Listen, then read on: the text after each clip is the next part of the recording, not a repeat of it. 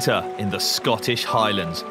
The dramatic backdrop for one of the toughest mountain bike races in the world. Strathpuffer is a 24-hour mountain biker race. It's not like riding around a field for 24 hours. It, it, you have to be a decent mountain biker to get around the thing.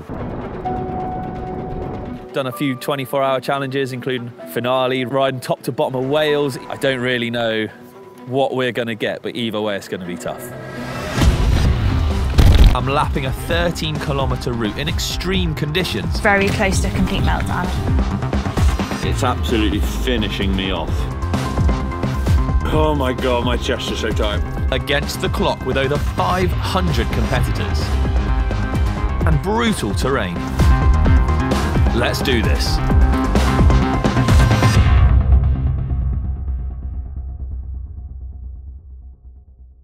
The story of Strathpuffer 2023. Well, it's actually been a couple years in the making. We were down to do it a little while ago and then the old Rona hit. But here we are now, 2023, January, and uh, it's all systems go. The time of year, the fact it's in the middle of winter always, the first two weeks in, in January, it's dark for 17 hours. It, it is a mental race. It's all a bit, it's all in the head. But it's not just racing through the dark for a mere 17 hours. Oh no, it's a 13 kilometre circular route in the Highlands of Scotland. The terrain is gnarly to say the least, strewn with rocks, mud, ice, and bitter winds, causing temperatures to drop way below freezing. However, thanks to Garmin for supplying the Edge 1040 Solar, it's going to allow me to keep track of my stats, and the huge battery life means I won't need to charge it once during the duration of this race that both myself and over 500 fearless amateur riders will be taking on. So yeah, the, the last stop up I done was 2020, um, and uh, I couldn't believe I managed to take the win in uh, in solo, which was uh, a total dream come true. Couldn't believe it. Was super stoked, and uh, yeah, the conditions were very like this year, I think. Uh, quite gritty again, and uh, yeah, plenty of fun. So it was around 20, 25 laps completed, and um, around about the 300 kilometres mark uh, distance. There's a, a, good friend, uh, good friend Robbie Mitchell, uh, who I'm really excited to, to see out on course. So it's going to be good fun racing, racing against all the guys. Strathpuffer, it's a serious challenge. It's not to be underestimated. Um, a, a, bit of everything in there and a lot more than just a cycle, to be honest. The last time it ran, um, yeah, we were in a good ba battle with Kyle Beattie. It was it was a real, real nip and tuck battle right throughout the night, and uh, Kyle Kyle got me at the end. So uh, now we're back again after COVID. Oh, nice. Prepaid.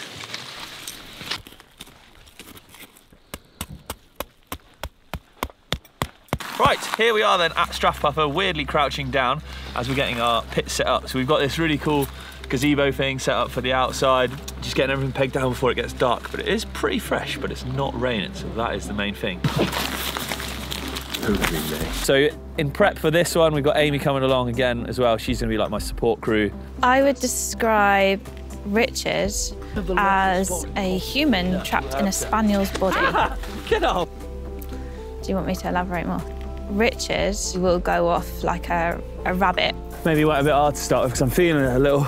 And just, he needs to know to slow it down and pace himself because he's got, um, you know, such a desire to win and really do well. He needs to remember that this is a 24 hour race. So he needs to go the, the full distance and kind of rein it back in when he needs to and listen to us when we tell him to eat and drink.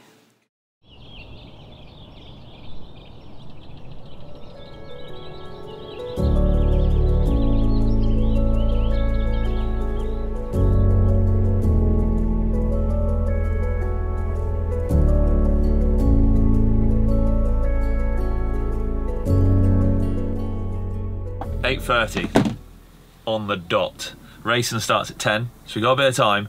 There's a rider's briefing at quarter to 10 just to go through everything, and that's when it kicks off.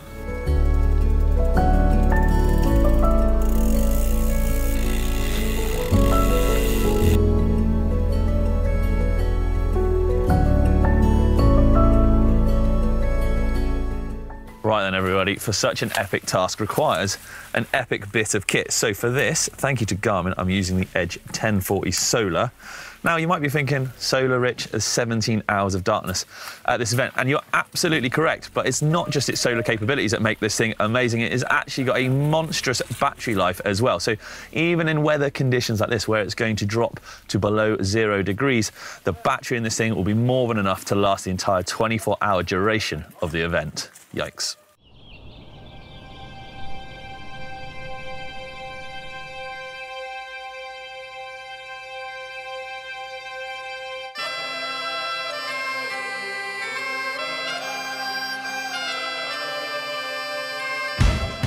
This race had a start like no other, a Le Mans style start where we'd have to run to our bike. Luckily, the ace up my sleeve was once again bringing Amy along for support, who was armed and ready with my trusty steed.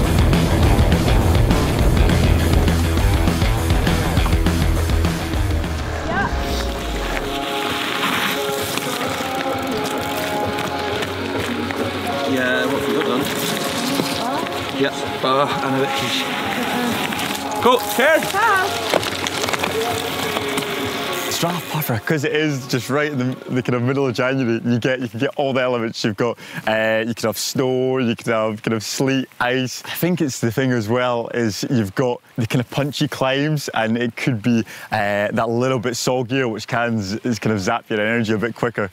All right, we are 50k, three hours 34. Maybe went a bit hard to start because I'm feeling a little. Course is pretty relentless. Just goes up or down. There's nothing really flat anywhere. There's a lot of climbing. We've already climbed 1,500 metres, so that's three and a half hours. It's going to be tough the whole way. Oh, man, legs are on fire. You all right? Just plodding along, doing my thing.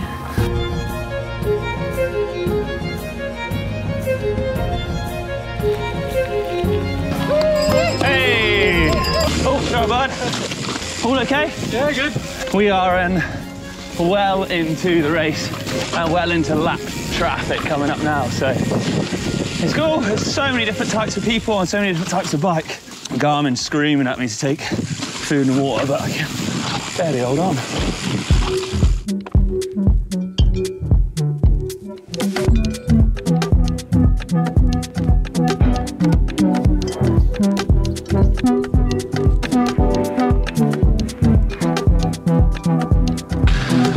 Okay, legs are definitely feeling it. Garmin's telling me, well, look, we got 91% battery, so the thing's a monster, more so than I, I am. Just keep spinning, just keep spinning, 20 hours to go, just keep spinning.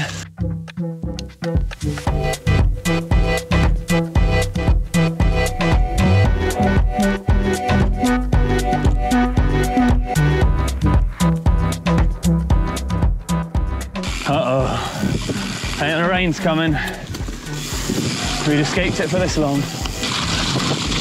Oh, it's raining properly now.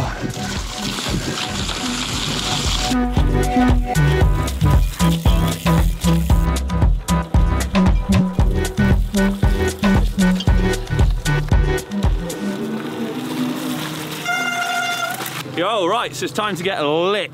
So for this, Exposure have kindly helped us out where we're running six pack Mark 12, Diablo Mark 13. Bars, heads, that made sense. Woo, this is tough. With up to 5,250 lumens from the six pack and 2,000 lumens from the Diablo, despite the darkness, my route was well and truly lit up. Battery check 86%. Literally far outlasting my own body by a long way. Right, peeps, thanks for all your help. See you in a bit, love you lots, bye.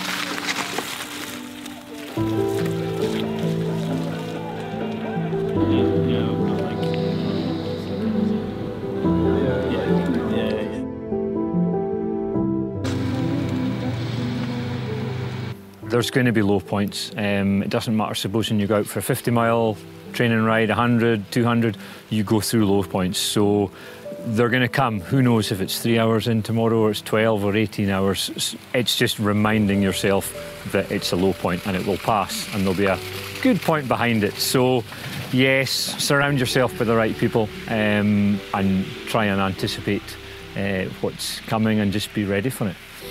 Yeah, Rich isn't doing too badly now. He came in on the previous lap very close to a complete meltdown, unfortunately. I think that there was just um, uh, a bout of freezing rain that had just completely got to him. So the man who never wears gloves and rides in all weathers, actually, that was very close to him having a complete meltdown. He thought he was going to be sick. He was nearly in tears. And um, yeah, not in a good way at all. But um, he's come in, had something to eat, and um, actually, when he left, he was in fifth place, and I think about 15 seconds off of fourth place. So that spurred him on to go out, I think. Oh, it's pretty dry out, to be honest. Yeah. There's the odd puddle, like just here and there. Please don't eat a lot, Mary. 20 to 7. It feels about 1 in the morning. We're not even halfway. Right, I need to get going and get some heat back in me. Everything's cold because everything's damp and wet. Can't even feel the buttons, my dropper half the time. Yodders! Right, doodles!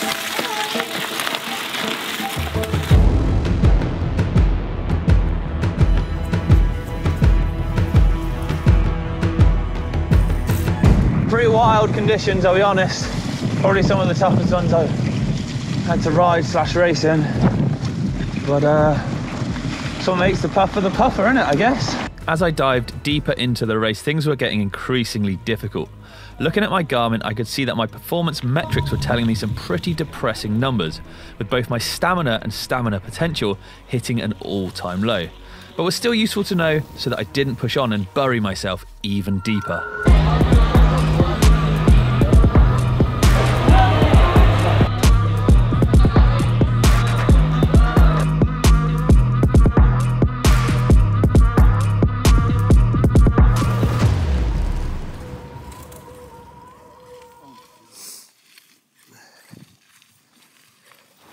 The, hardest part of the race is without doubt the graveyard shift when it's three or four in the morning and it's windy and cold and wet and nasty outside and you've got to get out your warm sleeping bag perhaps and get on your bike and go. Uh, that, that's when it gets a mental race.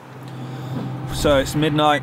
We're 145k in. Um, it's getting. This is like the tough point, I think. It gets even tougher. From now on, it just basically gets really hard. So it's hard. Now it's really hard because you start like you're physically tired. That's a given. But now mentally, it's a challenge because you've just been going for ages.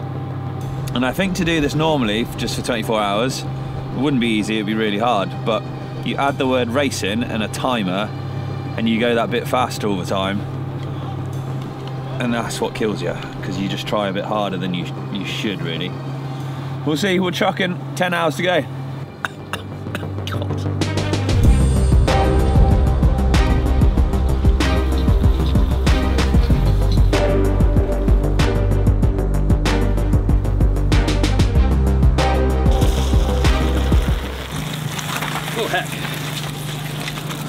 Just a little bit of food because I, I'm feeling my tummy's a bit funny. You sure you want anything? Just a, a tiny bit and some sugar. 10 to 3 in the morning, 170 kilometers in now. 39% left of battery.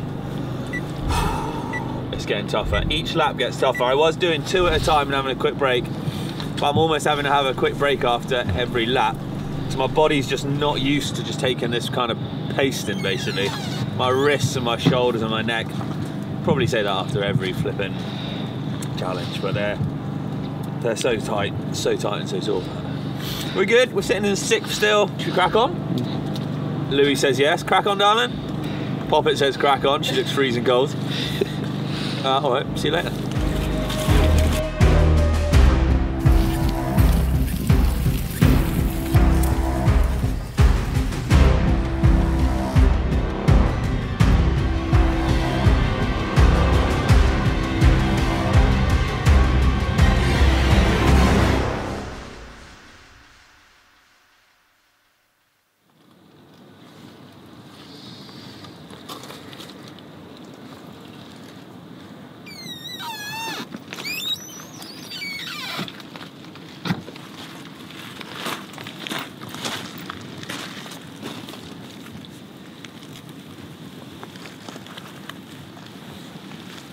So, sports fans, it's 10 past six in the morning. That means we've got under four hours to go. Oh my god, my chest is so tight.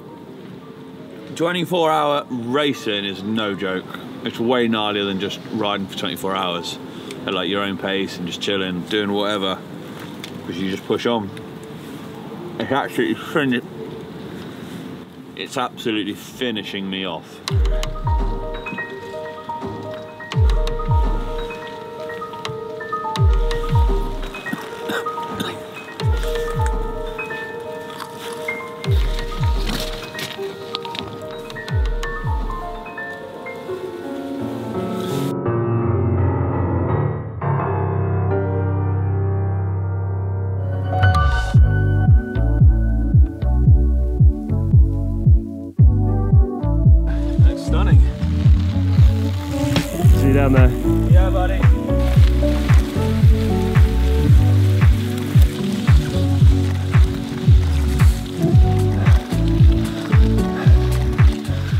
Happy to be on my last lap. I'm cooked. Just little things start creeping in, so like my right knees and just like niggling away now. But it's cool. It's an experience, isn't it? Heck of a race draft, Papa.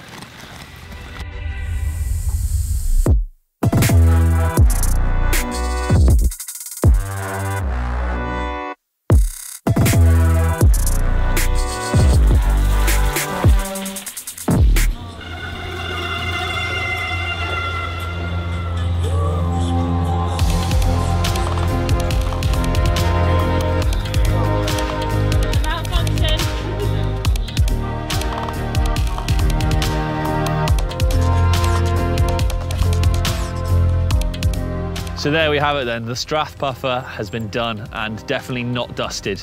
Heck of an event, and I don't really know where to begin when it comes to summarising something like this. It was just, it's really tough. It's definitely the 20, toughest 24 hour challenge I've done, and I think it's because it was a race as well. So I pushed that little bit harder with much higher heart rates at the beginning. The conditions were obviously pretty horrendous you either get really, really cold and frozen or you get really cold and wet. And we got the latter, obviously, with plenty of rain, lots and lots of mud, and still an average of zero degrees throughout the entire event with a low of minus two. Did I enjoy it?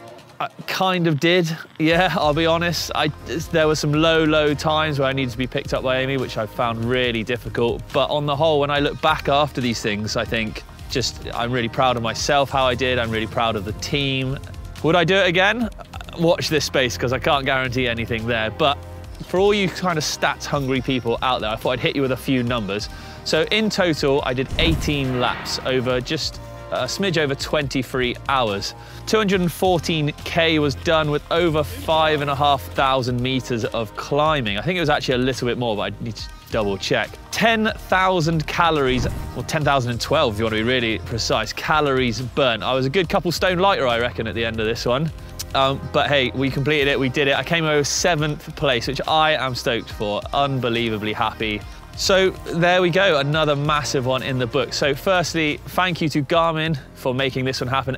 Exposure as well for providing some amazing lights. The camera crew, as always, unsung heroes, they did a solid job as well. And most of all, Amy for basically looking after me the whole time because I definitely wouldn't have finished this event without her. She was unbelievable in keeping me going. But look, what do you reckon? Should I do any more 24 hour challenges? Any other races? Anything else you'd like to see me do? I'm game for most things, but not if you're going to try and kill me. But we'll see. Look, thank you very much for watching, everybody. I'm going to get out of here. It's been a pleasure, and I'll see you next time.